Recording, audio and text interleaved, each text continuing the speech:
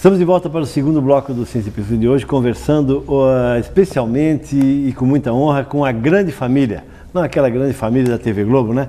Mas a grande família é, composta por alunas do, do, do CEDUP de Tubarão, alunas secundaristas que inventaram um descascador de pinhão. E agora, nesse bloco, nós recebemos especialmente a Daniele, que eu chamei de Daniela no bloco passado. Daniela, é um grande prazer tê-la conosco no Ciência e Pesquisa. Como é que é estar na grande família?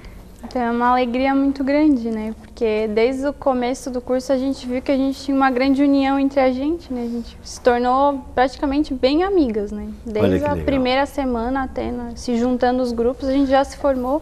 E a partir daí a gente passou a conviver bem mais. Assim. Ô Daniela, e essa convivência de vocês, que a Josi também é, é, deixou, deixou muito clara para nós, a Tainá também fez menção, ela também serve para que vocês estejam unidas nos estudos, nas pesquisas? Isso é, isso é uma coisa que acontece efetivamente com vocês? Com certeza, a gente é bem unida nesse sentido.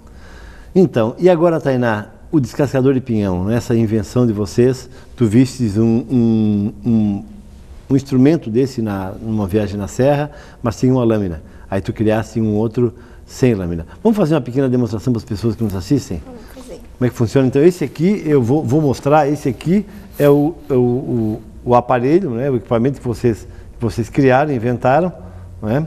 É, isso aqui vocês mandam fazer numa carpintaria tal, e, e acabam montando? Como é que funciona? Isso, então, pode mostrar para as pessoas, pode tomar na mão. Ele, na mãos? verdade, quem faz somos nós mesmos. Somos, somos nós quatro e daí a gente tem mais um funcionário, que é, é o Silvio.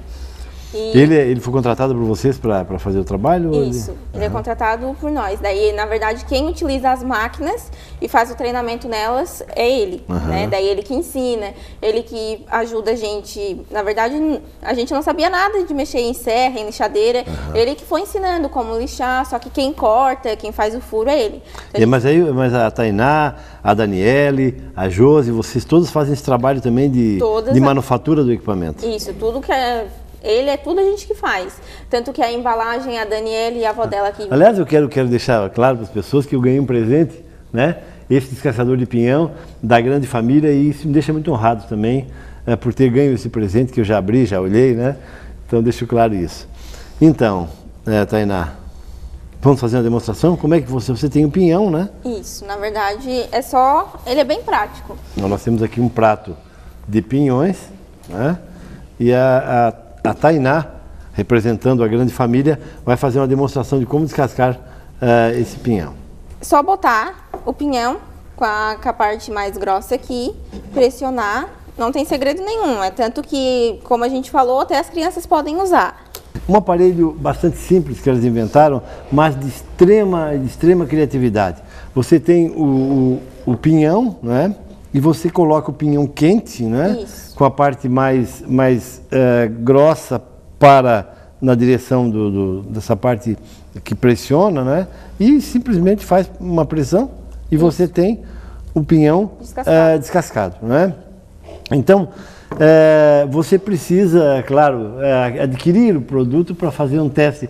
E por falar em adquirir, como é que as pessoas podem adquirir esse descascador de pinhão que as crianças podem usar, que não tem nenhum objeto cortante, que é um negócio sensacional?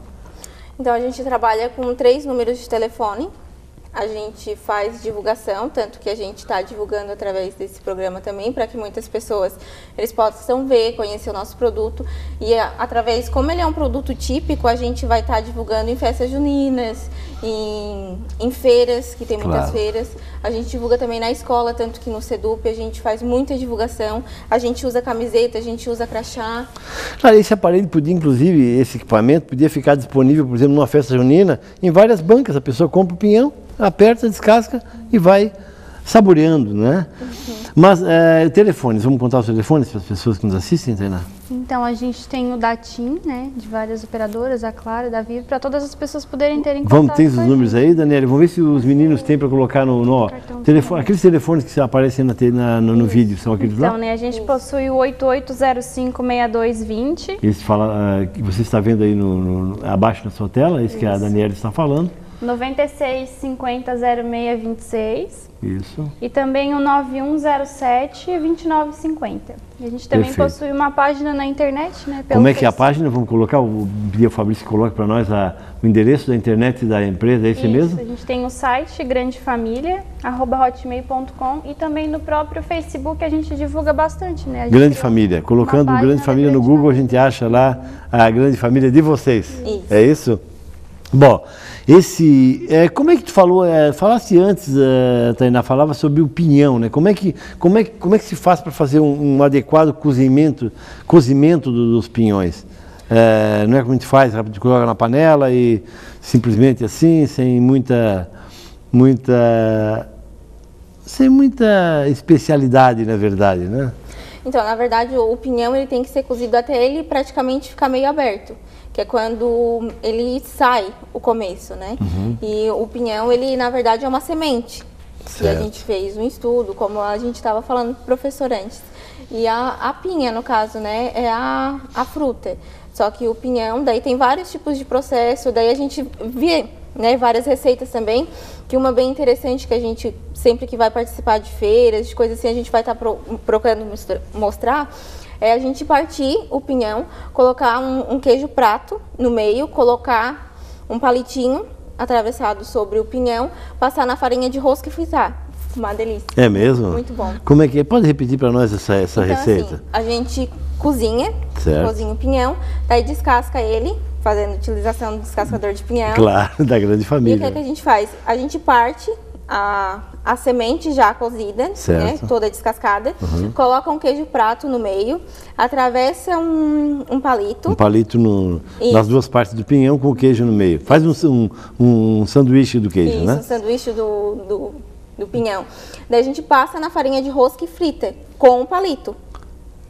Perfeito. E daí depois é só comer. Daí tira ah, é? e come. E fica, fica uma, uma, delícia. Fica uma delícia, que, Vamos perguntar para a Daniele se ela aprovou a receita. Ah, é bem boa. É legal. e, essa, e essa receita é coisa do grupo? Como é que é? Tu criaste, inventaste há pouco tempo? Não, a gente está sempre procurando receita nova, porque como a gente tem que estudar para divulgar, então é um meio de chamar atenção. Uma receita nova, um prato diferente. Tainá, eu gostaria de te agradecer imensamente por teres vindo ao Ciência e Pesquisa. Né? Daqui a pouco mais, no último bloco, vai voltar a Josilene, vou ficar com a, com a Daniela e com a Josi. Te agradeço muito, queria te cumprimentar pela iniciativa, pela, por estares na grande família e por estares conosco no Ciência e Pesquisa. Ok? Eu deixo então as câmeras do Ciência e Pesquisa para a tua fala final neste bloco, já que no bloco seguinte não estarás com a gente. Só queria agradecer, né, primeiramente pela TV, pela oportunidade do programa, pela divulgação de vocês terem aberto as portas para nós, para a gente poder divulgar nosso trabalho, que além de né, ser bom para vocês, é extremamente muito importante para nós, para a gente estar tá divulgando o nosso produto, a aceitação da nossa marca, porque querendo ou não já tem muitas marcas de descascador de pinhão e a gente podendo estar tá aqui divulgando, as pessoas estarem aceitando essa marca, assim individualmente, tanto para mim quanto para a Daniela e para as outras duas também, é muito importante e eu fico muito agradecida mesmo.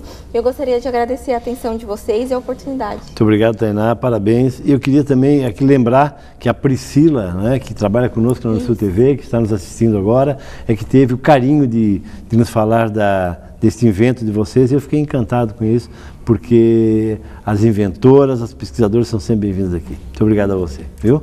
Bom, é, é, nós estamos conversando com uma muita honra com a Tainá e com a Daniele, que são, é, pertencem à grande família inventaram um descascador de pinhão. Daqui a pouco mais, três minutos, nós voltamos para o bloco final.